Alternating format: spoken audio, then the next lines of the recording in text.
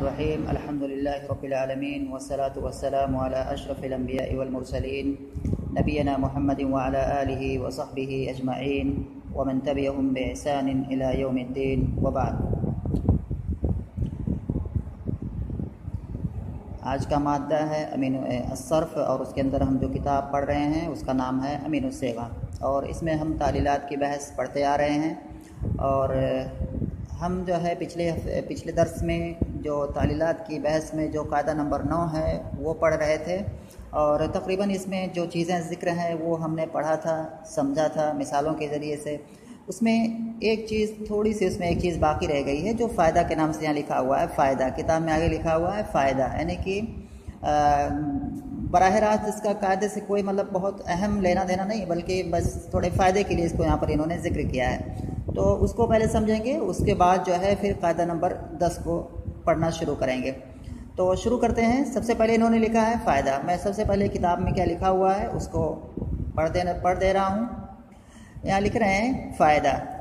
इस्तीफ़ाल के मजहूल में नकल हरकत इस कायदा से नहीं है, बल्कि आठवें कायदा से। यानी कि इस्तीफ़ाल के मजहूल में नकल हरकत इस कायदा से नहीं है बल्कि आठवें कायदा से पस उसमें कीला के तमाम अहवाल, जैसे कूला और इशमाम, जारी ना होंगे। हमने इससे पहले पढ़ा था कि अगर जैसे काला है, उसका मजहूल जैसे कवाला है, उसका मजहूल आएगा कोवेला। कोवेला में जब हम तालील करेंगे तो वहाँ हमें, हमारे सामने पढ़ने की तीन सूरतें होती हैं। सबसे पहली चीज़ है कि हम उस कोवेला को कीला पढ़ें। दूसरा ये कि इसी कीला ही पढ़ेंगे, लेकिन काफ के कसरे में जो है, उसको हम काफ के कचरे में ज़म्मे की उसमें बू डालेंगे, यानी कि उसको इश्माम के साथ पढ़ेंगे तो किवला हो जाएगा। और तीसरी सूरत यह है कि हम उस कोवेला को कूला पढ़ें। तो कीला किवला और कूला ये तीन सूरतें वहाँ पढ़ना क्या है? जायज़ थी, जैसा कि हमने इससे पहले समझा है, मिसालों के ज़रिए से। एक चीज़ यहाँ ये बता रहे हैं कि अगर बाब इस्तीफ़ाल से कोई फ़ेल आ रहा है, बाब इस्तीफ़ाल से तो वहाँ पर जो है कि मजहूल का इस, बाब इस्तीफ़ाल से कोई फ़ेल है और माजी मजहूल है और उसके आन कलमा में ये वाव और यह अगर आए हुए हैं तो वहाँ पर क्या कह जाए तो कह रहे हैं कि वहाँ पर ये इस कायदे से तालील नहीं होगी, बल्कि वहाँ जो है तालील आठवें कायदे से होगी। जो कि आठवां कायदा पीछे गुजर चुका है जिससे यहाँ पर आठवें कायदे में है कि वाव और या की हरकत उसके माकबल की तरफ़ जो साकिन हो नकल कर देते हैं। और अगर वो हरकत फतह हो तो वाह और या को अलिफ से बदल देते हैं। तो ये जो आठवां कायदा है, वो वहाँ पर क्या है? फिट होगा। इसको हम मिसाल से समझते हैं। मिसाल इसकी क्या है? जैसे एक फेल आता है, इस्तखारा। इस्तखारा। यस्तखीरो। इसका मैंने इस्तारा करना है, यानी कि आदमी जैसे कोई काम करने जाता है, उसको पता नहीं चलता मैं करूँ, ना करूँ, क्या करूँ, उस थोड़ा तो होता है तो तो इसमें क्या है इस्तारा आदमी करता है कि मतलब खैर को तलब करता है, यानी कि हमारे लिए बेहतर क्या होगा, उसके लिए जो है, वो इस्तारा कर, उसी को इस्तारा कर दें तो एक फेल है अलम में सरफी मसले में रहना है, एक फेल है, माजी है, जो कि है इस्तारा जिसका असल क्या है, इस्तखियारा। इस्तखारा है एक फेल माजी, उसका असल है इस्तखियारा। उसमें क्या है इस्तखियारा। तालील उसमें हुई है, आठवें कायदे से। या की हरकत माकबल को दी गई, उसके बाद फिर या को अलिफ से बदल दिया गया तो हो गया इस्तखारा। इस्तखियारा का अगर हम मजहूल बनाएँगे तो क्या होगा? उस तुख ये रा उस तुख ये रा ये आएगा उस तुख ये रा यहाँ उस्तुखियरा में उस्तुखियरा में क्या है? किताब में, किताब के अंदर इन्होंने मिसाल नहीं दी हुई है, कि लेकिन मैं इसको समझाता हूँ, इस मिसाल के इसकी मिसाल यही है, इस्तखारा उस्तुखिया तो इस्तखियरा का मजहूल आएगा उस्तुखियरा अब यहाँ पर अगर हम देखते हैं तो उस्तुखियरा के अंदर क्या है? कायदा नंबर फिट कायदा नंबर नौ फिट आ रहा है। उस्तुखियरा एक फेल है, और ये फेल माजी मजहूल भी है, और इसके आन कलमे में क्या है? या भी आई हुई है।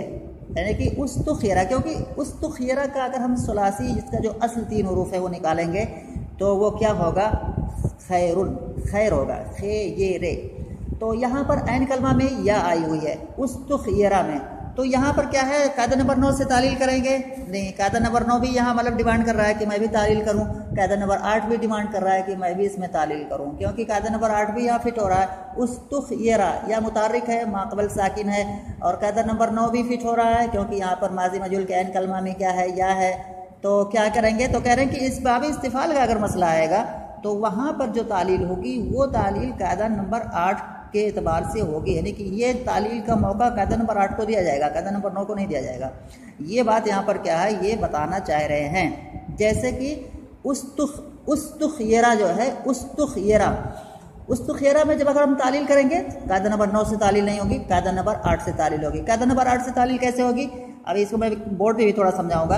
तो कायदा नंबर आठ से तालील कैसे होगी? उस तुखरा में या मुतारिक है, माकबल साकिन है, या की हरकत माकबल को दे दिया तो उस तुख ये रहा। तो खा पर कसरा हो गया, या साकिन हो गई, बस। और कसरा के बाद या है ही तो अब कुछ करना ही नहीं है। तो डायरेक्ट इस तरह से क्या बन गया?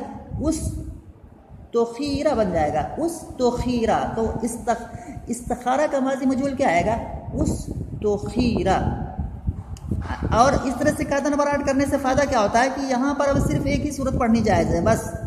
उस तोखीरा। यहाँ पर उस तो खूरा पढ़ना जायज़ नहीं है इशमा के साथ। और ना ही उस तो खूरा पढ़ना जायज़ है, जैसा कि कायदा नंबर नौ में तीन चीज़ें क्या है, पढ़नी जायज़ होती थी। तो फ़र्क यही है कायदा नंबर आठ के एतबार से तालील करने का, बाब इस्तीफ़ाल के अंदर, कि वहाँ पर एक ही सूरत पढ़नी जायज़ होगी। और अगर कायदा नंबर नौ से करते तो क्या है, जायज़ तीन सूरतें होती। लेकिन क्या है, ये कायदा नंबर आठ से है तो एक ही सूरत जायज़ होगी। तो वही बात कह रहे हैं कि फ़ायदा इस्तीफ़ाल के मजहूल में, बाब इस्तीफ़ाल के मजहूल में, इसकी मिसाल जैसे यहाँ पर अगर जाम जो यहाँ पर याद दिमाग में रखना है, उसकी मिसाल जैसे कि उस तुख येरा, बाब इस्तीफ़ाल से आता है, उस, जैसे कि उस तुख येरा। इस्तीफ़ाल के मजहूल में, जैसे कि उस तुखियरा में नकल हरकत इस कायदा से नहीं है, यानी कि इस कायदा से मुराद नवे कायदे से नहीं है, बल्कि आठवें कायदे से है, आठवें कायदे से यानी कि आठवें कायदे से है। बस उसमें तीला के तमाम अहवाल, यानी कि तीला के अंदर जो तीन सूरतें जायज़ होती हैं, तीन हालतें जायज़ होती हैं, उसमें तीला के तमाम अहवाल, जैसे तूला और इशमाम, जारी ना होंगे। बात समझ में आई ये वाली? बात समझ में आई?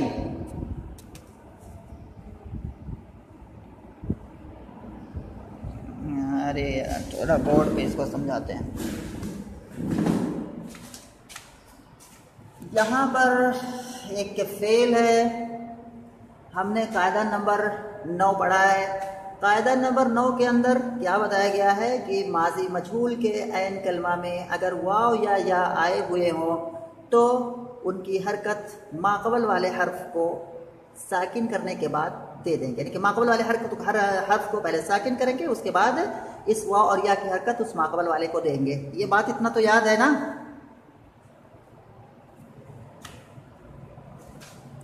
जी।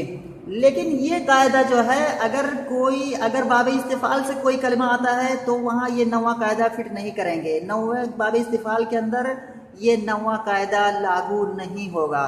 अगरचे इस तरह की सिचुएशन बाब इस्तीफ़ाल के माजी मजहूल में आ गई हो। यानी कि जो कायदा नंबर नौ है, माजी मजहूल का जो कायदा नंबर नौ है, माजी मजहूल के बारे में ये वाला कायदा अगर बाब इस्तीफ़ाल के माजी मजहूल में अगर पेश आए तो वहाँ पर ये कायदे नंबर नौ से तालील नहीं करेंगे। एक मिसाल यहाँ पर मैंने लिखा हुआ है। इस बाब इस्तीफ़ाल से कलमा आता है, इस्तखारा, जिसकी असल है इस्तखियारा। इस्तखारा जिसकी असल क्या है? इस्तखियारा। और उसका जो माजी, उसका जो मजहूल आएगा, क्या आएगा? उस तुख उस तुख येरा इस तखियरा का मजहूल क्या आएगा? उस तुख येरा जो कि यहाँ पर लिखा हुआ है। उस तुख येरा यहाँ पर देखो इसमें कायदा नंबर नौ फिट हो रहा है। मा, ये माजी मजहूल है ना? इस इस तखियरा का मजहूल क्या है? उस तुखियरा है। मजहूल का सेगा है। माजी मजहूल है। और इसके ऐन कलमा में ये जो या दिख रही है नीचे, ये इस कलिमा का ऐन कलमा है, क्योंकि इसकी असल क्या है? खे, ये, रे। और इसमें अलिफ, सीन, ते, ये तीनों क्या है? जायद है। तो ऐन कलमा में या भी आई हुई है। और कायदा नंबर नौ क्या कहता है? कायदा नंबर नौ यही कहता है कि अगर माजी मजहूल के ऐन कलमा में या आई हुई हो, ठीक है? तो उससे पहले जो है वाले हर्फ को साकिन करने के बाद इस जो है या की हरकत माकबल को देंगे। और अगर पहले से साकिन है, तब तो दे ही देंगे, कोई ज़रूरत ही नहीं इतनी मेहनत करने की। तो यहाँ पर जैसे उस्तुखिरा है यहाँ पर, क्या करना चाहिए? कायदा नंबर नौ से कि या की हरकत माकबल वाले हर्फ को, यानी कि उस्तुखिरा, अगर कोई कलम वलम हो तो ऐसे मिसाल अगर या वीडियो देखने से समझ में आ जाएगा। उस्तुखिरा जो है यहाँ पर क्या है? ये हम देखते हैं कि या क्या है? माजी मजूल के कलमा में या आई हुई है। और बस यही देखते हुए बस कादा नंबर नौ यहाँ पर लागू हो जाना चाहिए और या की हरकत माकबल को पहले से साकिन है तो करना ही नहीं है, कुछ माकबल को दे देना चाहिए, है ना? तो इस तरह से क्या हो जाता? उस तुखीरा हो जाता।